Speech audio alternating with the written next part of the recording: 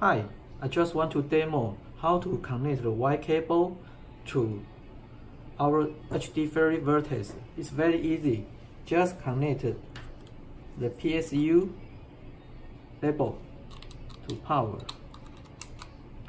and connect PC to your PC. Then plug power. That's it. Thank you for watching.